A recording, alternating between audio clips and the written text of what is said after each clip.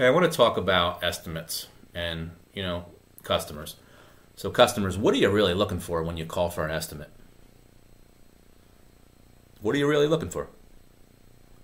Are you out to look for the lowest price? Or are you looking for the best quality? You're probably not going to get the lowest price with the best quality.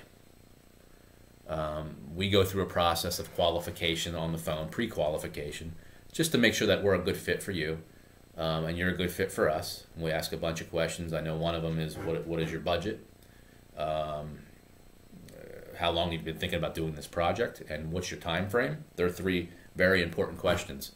Um, what is your budget question is I think the best question that we ask, and probably invariably 50% of the people will not answer it because they're afraid uh, for dealing with other companies that as soon as they know that budget, that's what the price is going to be. So if you tell me your budget's a thousand dollars, well, you know, I'll bet you I'm going to charge this guy a thousand dollars because that's what I know he's going to pay. But that's not the case for us.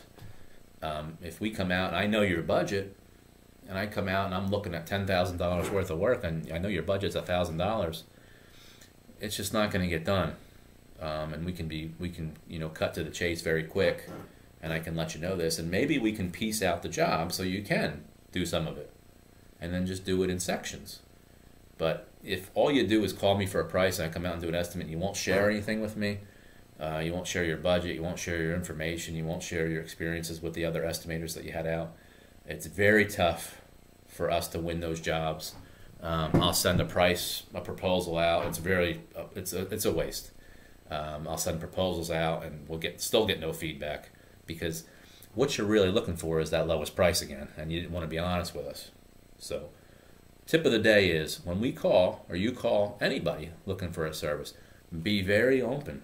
They're not out to rob you. Most of them are not out to rob you. Um, and anything that you can add and give us information on, we can help make that project come true, regardless of price. There's other ways to, to manipulate the project to take things out of the scope of work to maybe add things over in a different area that that we can get done. So share your thoughts.